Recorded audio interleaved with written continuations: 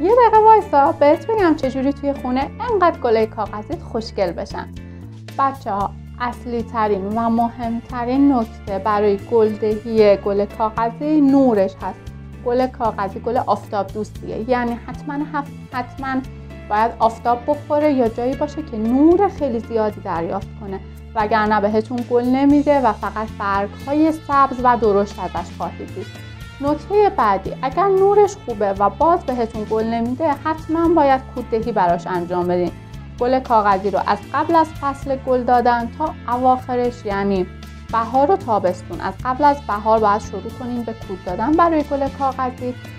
کود پوتاس بالا فوق العاده برای این گیاه عالیه و کمکش می‌کنه که گل بده گلای درشت و خوش رنگی بهتون بده.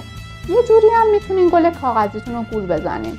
که بهتون گل بده. چیکار کنین بیایم یه دوره بهش تشنگی بدیم. انقدری که برگها پیر بشن پژمرده بشن ولی آوند آسیب نبینه. حواستون باشه گلتون رو خشک نکنین حالا چی میشه؟ وقتی گیاه تشنگی می‌بینه گل کاغذی تشنگی می‌بینه فکر می‌کنه دیگه داره میمیره دیگه داره از بین میره. و بعد که شما میای سیرابش می‌کنین فکر می‌کنه این آخرین فرصت زنده موندنشه.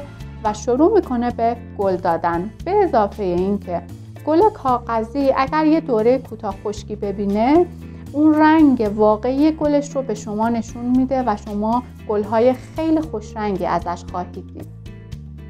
خاک گلتون باید خاک سنگین یا نیمه سنگین باشه.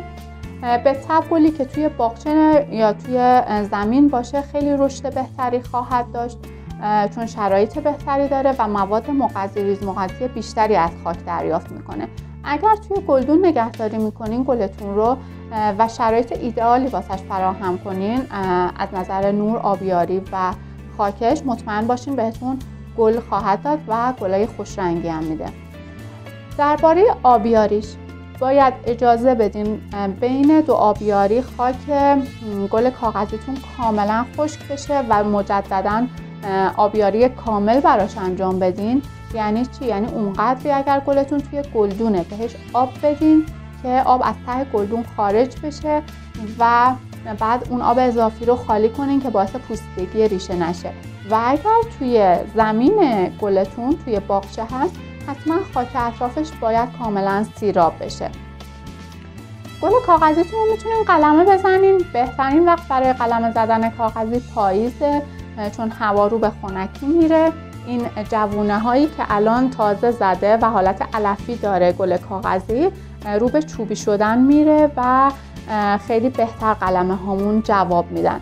حواستون باشه کاغذی آفت می‌گیره آفت شته آفت شپشک و کنه تارتن می‌گیره که باید براش حتما سنپاشی انجام بدیم که یا بیشتر آفت می‌گیره اگر رطوبت محیطتون بالا بره یا اینکه در تغییر فصل حواستون باشه آفت می‌گیره و باید درمانش کنین تا گیاهتون سالم بمونه.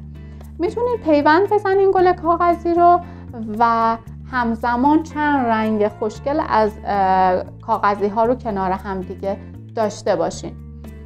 اگر سوالی دارین درباره گل کاغذی و نگهداری اگر تجربه ای دارین لطفا کامنت بذارین تا با هم دیگه بیشتر یاد بگیریم. ممنونم که همراه منین و خدا نگهدارتون.